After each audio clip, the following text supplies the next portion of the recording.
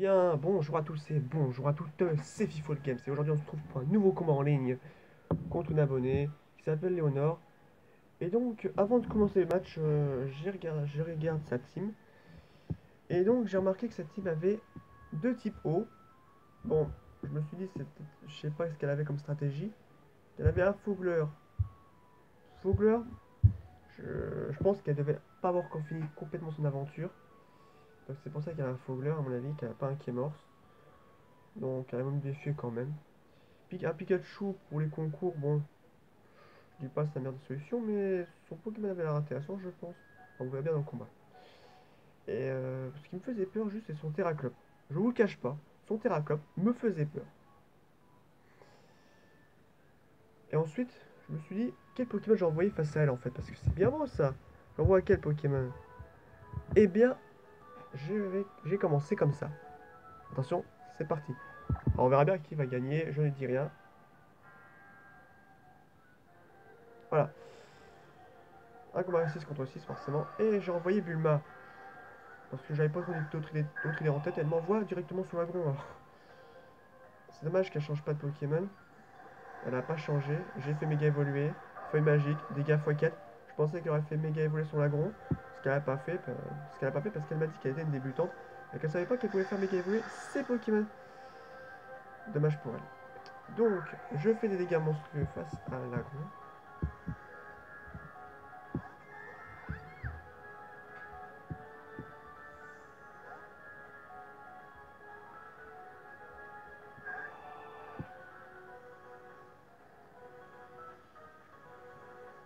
Bon, elle, elle échange parce qu'à mon avis, son Pokémon elle voit un Pokémon seul, elle se dit il, craint, pas d'attaquer électrique. Mais elle m'envoie son Jartor et moi j'envoie Séisme.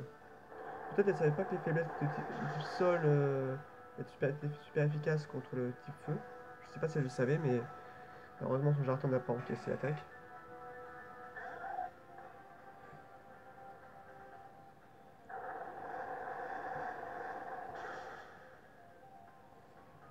Fogler est comme bien, a bien encaissé l'attaque, je trouve. Ma baisser l'attaque, ça c'est bien. Ouais, c'est une bonne attaque pour baisser les stats, ça c'est bien pensé.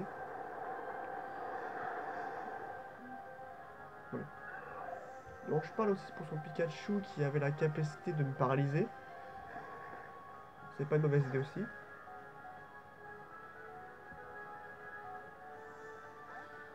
Un petit spectre, il, craignait les attaques ténèbres et spectres. Mais vu que je n'ai que Monafini qui, lance, qui connaît que fin tout ballon, je sais plus Griffondre. J'ai préféré pas tenter et j'ai envoyé un autre Pokémon. J'ai envoyé Dratak qui puisse faire des gros dégâts. Terraclop a une très bonne défense, une très bonne défense spéciale. Il encaisse très bien les attaques. Bon, une folie bien pensé. C'est bien pensé. Pour ma part, moi je suis un peu mal, je suis un peu mal dans cette situation parce que vu que c'est Pokémon, contre folie, ça m'avantage pas vu que ça peut faire des gros dégâts vu que j'ai une team de bourrin. Pour dire ce qui est, c'est une team de, qui a une haute attaque. Donc, m'envoie châtiment. Par contre, pour châtiment, j'ai une question. Je sais pas si châtiment, ça peut me toucher. Ces dégâts étaient doublés vu si j'étais confus. Ça, je sais pas. Pour les statuts, ça, les dégâts sont doublés. Mais pour les problèmes comme confusion, tout ça, je sais pas. Donc, voilà. Je change.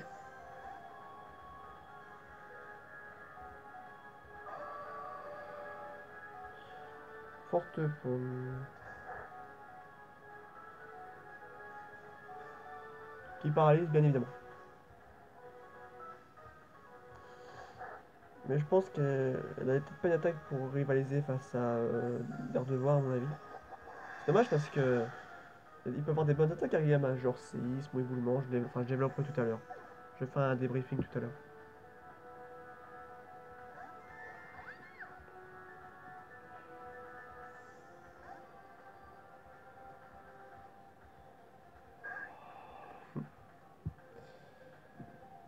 Une mousse qui paraît à coup sûr si l'adversaire est touché.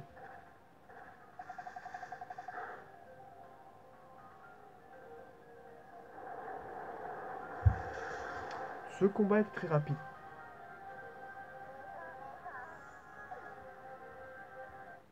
Voilà.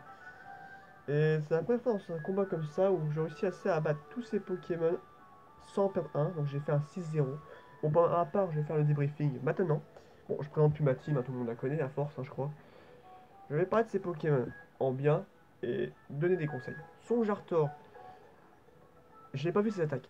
Alors j'ignore son Pokémon était très défensif, mais il n'était pas défensif malheureusement. Je te conseille c'est d'augmenter ses stats avec des défenses, des, des zinc, des enfin zinc non mais des fers, etc. Et lui donner des attaques de statut genre, euh, euh, comment on appelle ça, piège de roc ou les autres attaques de ce genre. Et euh, ton Jartor, bah en fait, il faut le faire passer aussi au SPV. SPV c'est mini-jeu pour on tire avec un ballon. On tire, avec un ballon dans les, espèces de ballons.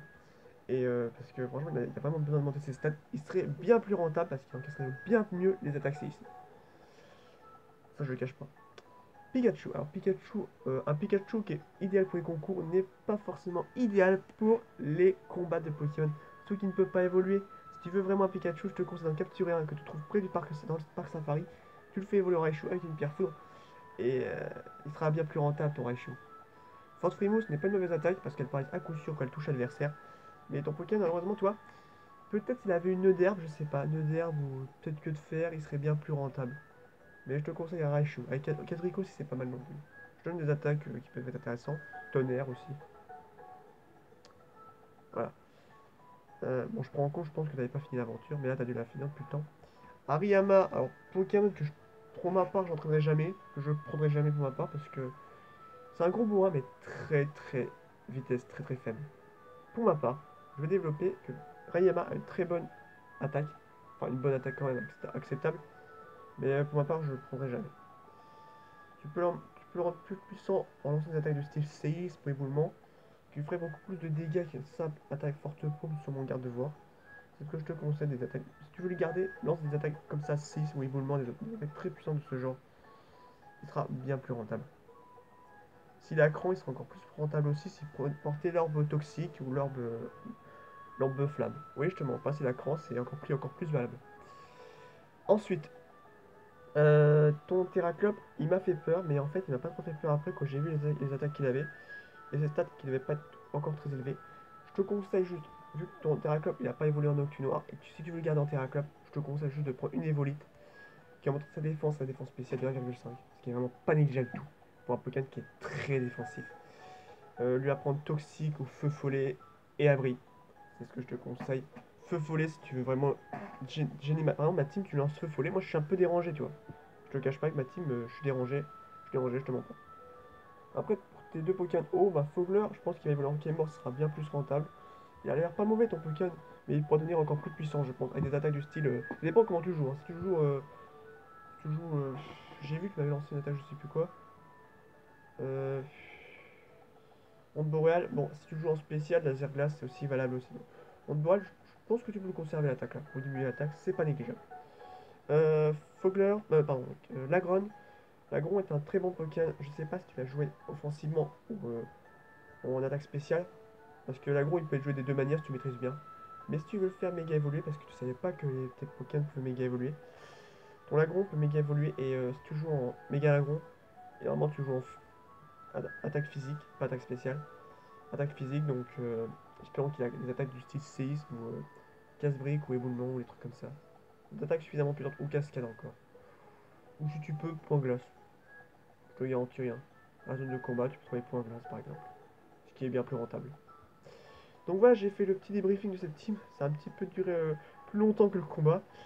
Bon, je sais que tu es une débutante, mais je te conseille juste, je te conseille, je te donne que des conseils pour t'améliorer davantage. Alors, euh, voilà, donc j'ai fait le tour. Si, vous voulez encore, si un jour vous voulez faire un combat en ligne contre moi et que vous voulez gagner, parce que je pense que vous gagnerez, certains gagnent, gagnent contre moi, d'autres perdent. Bon, c'est pas, pas triste, hein, c'est triste, mais pour certains, mais triste, pas, triste pour d'autres. Donc voilà, si vous voulez un jour me défier, j'ai mon CA, etc. Moi je vous dis ciao à la prochaine pour de nouvelles aventures. Ciao, bye bye. N'oubliez pas de liker, de partager, de vous abonner ou de commenter, ça fera toujours plaisir. Ciao, bye bye les gens. Bye. Allez, bye.